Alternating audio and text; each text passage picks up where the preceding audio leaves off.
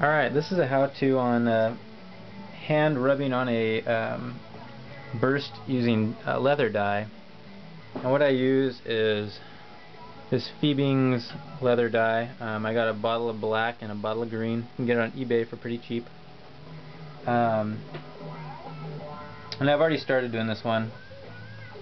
Um, basically, I used you know the bottom of a cup like this or you can use the cap for a spray paint or something to mix stuff in.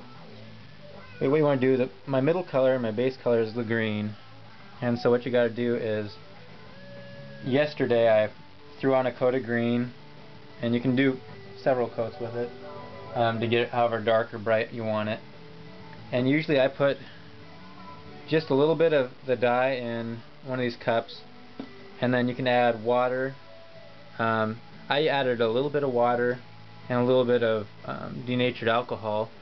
The denatured alcohol, if you use that without water, tends to make it dry really fast, which I don't want. The water tends to make it dry really slow, which I don't want either. So I mix the two with the dye. Um, if you use isopropyl alcohol, might work better. I've never tried it, um, but it's supposed to dry a little bit less fast.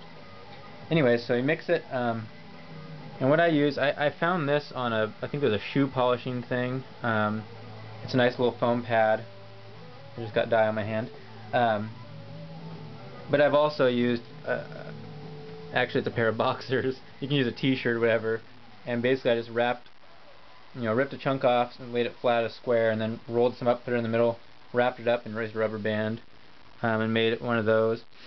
Um, but basically what you're going to do is once you get your green on there, you let it dry overnight, um, and then you're going to come back and do your second layer with your black. And it's tough to get it even, it really is. You got to work at it for quite a while. Um, mine's not right now very even. Um, but essentially what you're going to do is um, it came the the dye comes with one of these little dauber things and I tend to use that in the cup and then just kind of daub it onto my black thing here. But basically, you want to start out with your mixture pretty strong towards the the black. Um, a lot of black dye versus the rest of this, um, the mixture. And so you daub it on. And what you want to do is start at the outside and do kind of a thin line around the edge. And what I didn't show you is I actually have used this spray bottle and got the wood kind of damp here. Um, that'll help it dry a little slower too. But then you're going to go around the outside and just do kind of a line on the outside. And you don't want to let it sit too long on that line or else it'll leave a line. So then what you're going to do is it'll automatically go back around and probably double the thickness of that line.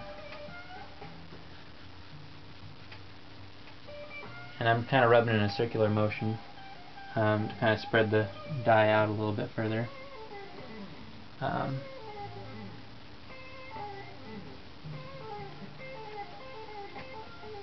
and then start again, go a little bit further essentially you just go around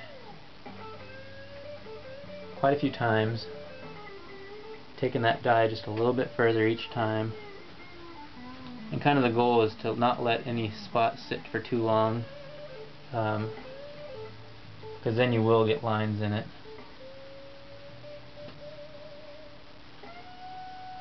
And you can go out as as far as you want to you know for the color after that I have a piece of extra cloth here that's um, actually it's dry and clean. Um, and I'm kind of rubbing in circular motion. You want to when you're rubbing like that though you want to actually be taking the dye kind of out towards the center and then bringing it back in. And it kind of allows it to fade the color to fade out a little bit. And it's also drying the wood off um, at the same time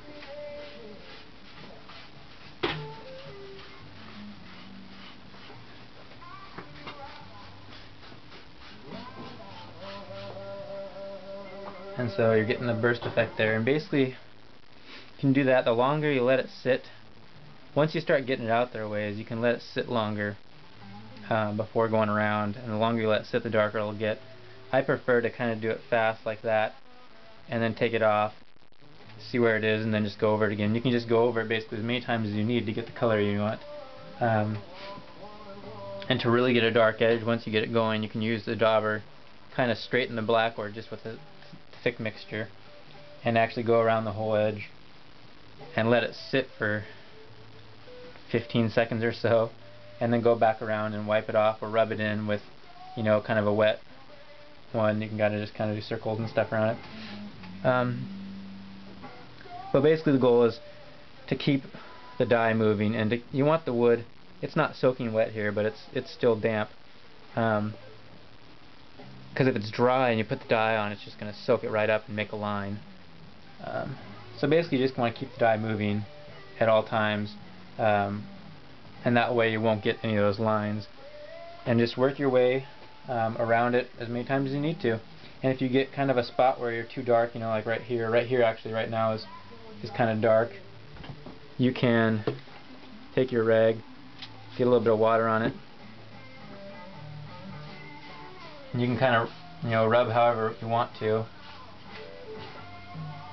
And it will take off, you know, some of what you got there. It won't take off the green very much because it's set, it's dried overnight and it's set. But you can go around and clean it up like that to kind of make sure you get that the burst effect how you want it to.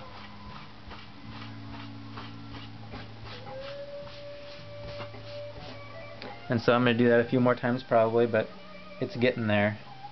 And it looks kind of rough right now because it's dry more dry. But once you get it wet like it's going to be with the lacquer you can really start to see the the color and stuff come out in it again which is kind of hard to see with the I'm going to try and get over here a little bit. You can really start to see everything coming back out again. And so that is how you do a burst with dye